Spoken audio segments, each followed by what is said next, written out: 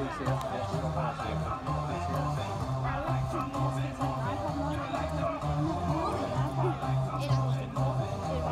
viser den her bil i gang her, det er 1400, det er Yellow Spilja, så ligger bedst på start her, Mikkel Grønhold kommer godt ned. Det er altså Emma Lio, der har taget føren her.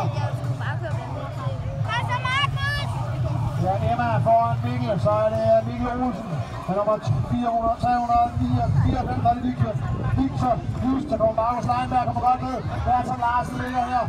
Og Elias Skejlid og Axel Søndergaard.